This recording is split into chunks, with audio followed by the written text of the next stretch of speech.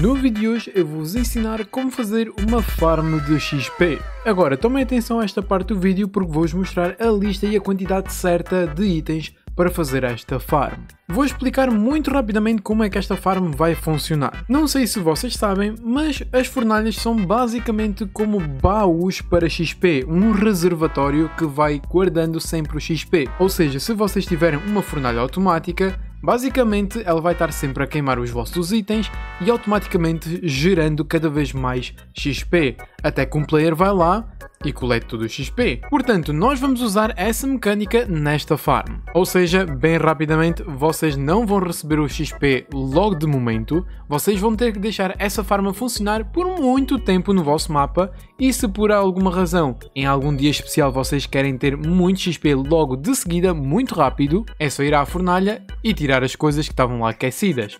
E assim vocês podem ganhar até mais de 500 níveis de XP, ou seja, uma farm muito boa. Esta farm vai funcionar no seu melhor se for no mapa single player, nos servidores não sei se vai funcionar a 100%, já que, né, certos servidores podem ter alguma configuração que pode mudar alguma mecânica desta farm. Portanto, tomem atenção nisso. Mas bom, para começar a fazer esta farm de XP, nós vamos colocar aqui um bloco de construção e colocar logo aqui um baú duplo podemos já partir este bloco aqui. Vamos colocar aqui um funil e depois a fornalha que vai ser basicamente o nosso reservatório de XP logo aqui em cima deste funil. E agora vamos colocar aqui outro funil virado para esta fornalha. Agora, logo em seguida, em cima da mesma fornalha, colocar mais um funil porque é aqui onde vai estar basicamente os cactos. Sim, nós basicamente vamos fazer uma farm de cactos para conseguir muito XP. E bom, agora nós vamos colocar um bloco de construção aqui. Vamos colocar mais 3 ou seja, 4 blocos de construção. Vamos colocar dois blocos, vamos colocar um bloco aqui e vai ficar assim. Tomem nota, vai ter este formato e vamos partir este bloco e este bloco. Agora vamos colocar um comparador virado aqui para este bloco e agora um repetidor virado para este lugar e vai ficar assim e vamos colocar apenas uma tocha de redstone. Este bloco aqui em baixo nós podemos partir agora. Agora vamos colocar um bloco aqui e agora vamos colocar mais 5 blocos para o lado esquerdo, portanto 1, 2, 3, 4 e 5. Aqui vamos acrescentar mais 2 blocos de altura e agora vamos concluir esta parte com carris de redstone. Esta farm vai precisar de alguns carris, portanto recomendo muito vocês passarem no vídeo aqui no card que é basicamente um multiplicador de carris para o Minecraft Java. Agora, o próximo passo é só colocar aqui um pistão com slime e depois mais dois blocos de slime. Agora, novamente, usando aqui as fornalhas, vamos colocar agora exatamente 4 fornalhas aqui assim. Agora vamos dar outra vez a volta e vamos colocar novamente mais 4 fornalhas. E agora no final vamos colocar aqui um bloco temporário e um bloco de construção e vai ficar assim desta forma como vocês estão a ver agora. E depois aqui em cima deste pistão vamos colocar uma carpete. Agora, neste carril vamos contar um para a direita, portanto no segundo vamos colocar aqui um funil e vai ficar assim a flutuar. E agora, mirando no mesmo carril que está aqui debaixo deste funil, vamos colocar um bloco de construção e vamos colocar mais dois assim, vamos fazer outra vez a mesma forma que fizemos anteriormente, podemos já partir estes dois blocos, portanto aqui vai o comparador, aqui vai o repetidor e aqui vai a tocha de redstone, vai ficar assim. Agora, em frente da nossa tocha de redstone, vamos colocar exatamente 5 blocos. Portanto, 1, 2, 3, 4 e 5. Vamos colocar agora mais 2. Aqui vamos colocar mais um. Basicamente, nós vamos dar agora aqui assim a volta para isto ficar desta forma. Aqui vamos adicionar uma redstone, aqui também. Aqui vamos acrescentar três repetidores, em que todos têm que estar na carga máxima. Aqui adicionamos uma redstone, aqui um repetidor na carga máxima e agora vamos colocar aqui o nosso pistão com slime que vai ficar ativado. A partir deste bloco vamos contar para trás, neste bloco aqui nós vamos colocar agora um observador e aqui vamos colocar outro observador aqui assim. Como vocês podem ver, esta parte vai ficar a piscar, portanto se tiver a piscar, está tudo correto por enquanto. Agora como último passo, vamos só adicionar 3 redstone e depois um repetidor na primeira carga, que vai ficar assim. É isto aqui mexeu-se, portanto multiplicou só aqui uma vez a nossa carpete, vamos colocá-lo novamente aqui e agora vai multiplicar, calma lá, vai parar agora, e depois de voltar a colocar a carpete de volta aqui, desde aqui para aqui, o vosso pistão deveria de multiplicar a carpete, ou seja, no total deveria estar aqui 8, portanto vamos só tirar isto novamente e vamos ver a forma funcionar, e pronto, está multiplicando agora os carpetes, agora parou, e pronto, temos aqui outra vez 8 carpetes de volta. Agora, pelo sim, pelo não, vamos colocar blocos de construção em cima das nossas fornalhas e também deste bloco, a mesma coisa vamos fazer nestes. Agora, neste funil, vamos colocar aqui um bloco temporário, que no caso agora vai ser a areia, e vamos colocar três vidros assim, vamos fazer isso em todos os lados, e agora sim podemos partir esta areia. Agora, a partir daqui do centro, nós vamos colocar quatro blocos para cada lado. Portanto, aqui vamos contar 1, 2, 3, 4, 1, 2, 3, 4, 1, 2, 3, 4 e 1, 2, 3 e 4. Agora sim, nós podemos unir isto aqui tudo, vamos, vamos encher isto tudo com um bloco de construção. E agora que nós temos este quadrado feito, que já agora é um 9 por 9, porque não é 1, 2, 3, 4, 5 contando aqui com o meio, 6, 7, 8 e 9. Vamos voltar rapidamente aqui para baixo e vamos adicionar o nosso carrinho com funil. E pronto, não se preocupem, a vossa farm agora vai ficar a funcionar. Porque é, é literalmente esse o objetivo, é farmando agora um pouco de carpetes, enquanto que a farm não está a funcionar nem a produzir nenhum cacto. Portanto sim, agora o carrinho vai estar sempre a buscar ali as nossas carpetes a vir sempre para aqui. Agora, para vocês não é obrigatório seguir esta parte passo a passo, porque eu acho que assim vai ficar mais bonito que no caso nós vamos colocar agora aqui um bloco de construção, agora mais três em volta.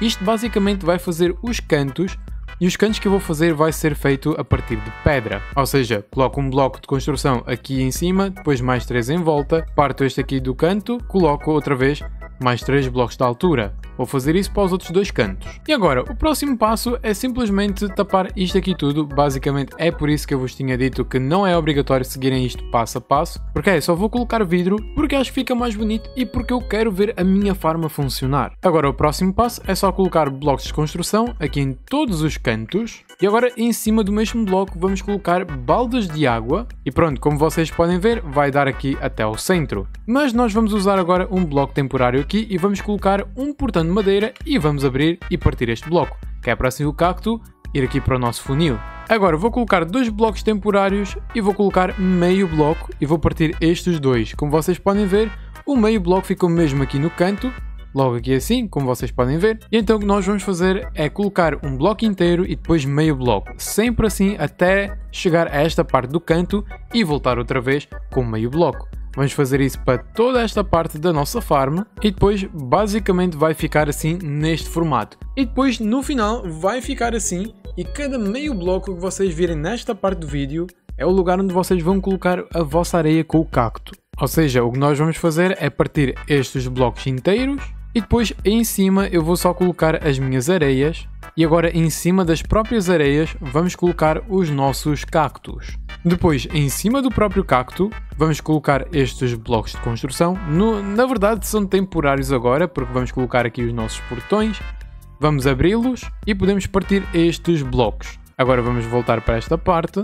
Colocamos aqui blocos temporários e novamente vamos deixar aqui estes portões, abri-los e tirar estes blocos temporários. E pronto, apenas precisa de fazer esta fila assim, porque seja de um lado ou do outro, quem crescer vai logo partir-se automaticamente. Agora, claro, visto que vocês têm o tamanho desta farm, vocês vão ter que aumentar um pouco mais a borda aqui da vossa farm, pelo menos um bloco acima do nosso cacto, portanto vai ficar assim desta altura. Agora vocês devem pensar, mas Sam, será que uma camada é suficiente? É óbvio que não, vocês vão precisar de fazer quatro camadas. Oi, prazer, sou o Sam do futuro e não, não são quatro camadas, mas sim duas camadas. Digamos que eu fiz aqui um teste depois de meia hora, a camada perfeita são duas camadas na verdade, a primeira é completa e a segunda camada é assim, apenas fazem literalmente o que fizeram na primeira camada, mas tiram os cantos. E é, eu depois mais para a frente do vídeo também vou explicar, mas vou-vos só relembrar que quem se tornar membro Pedra com Musgo, vocês vão ter o schematic desta farm e não só, também vão ter o schematic destas farms todas que temos disponível para o membro Pedra com Musgo.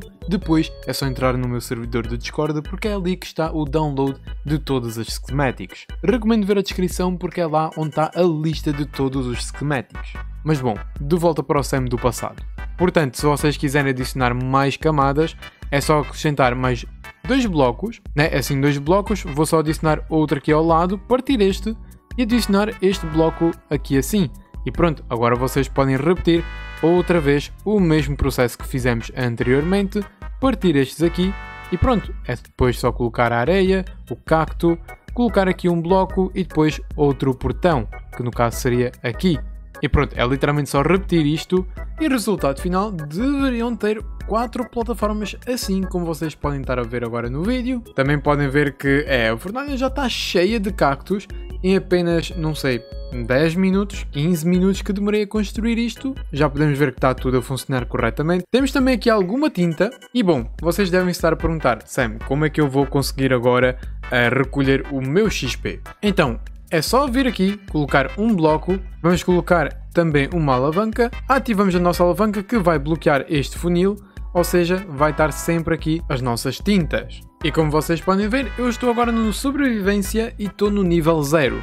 Já temos aqui algumas tintas, a mesma coisa digo aqui, e eu posso vir aqui e pronto, ganhei um nível de XP. Agora claro, como disse logo no início do vídeo, esta farm vocês têm que deixar por muito tempo que é para conseguir 300 níveis de XP ou até 500 níveis de XP de uma só vez. Recomendo deixar esta farm no spawn do vosso mapa e agora claro, para isto aqui continuar a farmar um montão de XP é só deixá-la ir e continuar. Portanto é, também recomendo deixar muitos baús que é para vocês né, conseguirem tirar as vossas tintas, que é para passar daqui até para este baú. E pronto, basicamente vocês fizeram uma farm de XP, cacto e tinta. Três farms em apenas uma farm. E depois, claro, vocês decidem qual é o método. Se vocês querem só cacto, tirem só a fornalha e coloquem um funil em vez da fornalha. Se querem a tinta e o XP, é só deixar a tinta vir para aqui e depois quando quiserem receber o vosso XP é só ativar aqui a nossa alavanca. Calma lá, deixa só passar mais um pouco e como vocês veem, eu vou tirar agora a tinta e vejam o XP. Pronto, já estou no nível 2. Agora, nós podemos fazer um teste de 30 minutos para ver quantos níveis de XP é que eu vou conseguir. Eu vou só ativar aqui o comando barra kill. E pronto, agora que eu tenho 0 níveis de XP, vamos ver quantos níveis é que eu vou conseguir em apenas 30 minutos. E bom, 30 minutos se passaram e antes de ver a quantidade de XP que eu vou receber depois de 30 minutos de AFK aqui nesta farm, é só vos queria avisar que quem se tornar membro Pedra com Musgo aqui no canal vocês vão ter acesso ao schematic não só desta farm, como também de estas farms todas que temos disponíveis para esse membro no meu servidor de Discord. E por falar em Discord, é, eu tive em chamada com os meus amigos enquanto estava fazendo aqui a parte da FK desta farm. Digamos que eu tive que cortar um pouco porque ela estava a ser demasiado produtiva. Porque é, digamos que este funil aqui estava-se a encher muito rápido e mesmo assim ainda se está enchendo demasiado rápido. Portanto, é, temos duas camadas, eu vou passar para simplesmente destruir estes aqui assim dos cantos. Porque é, estava a produzir demasiado cacto, depois vai produzir tanto cacto, mas tanto cacto, que depois vai simplesmente ficar desperdiçando cacto e XP.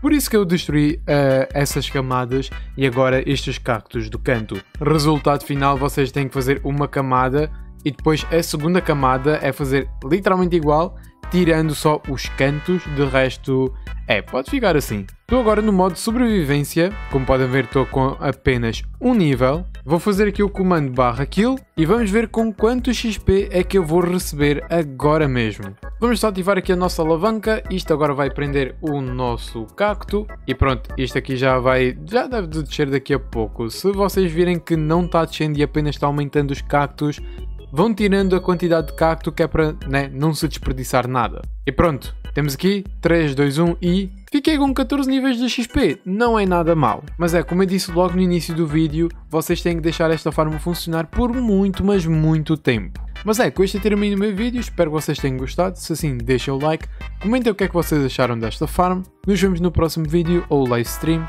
e tchau!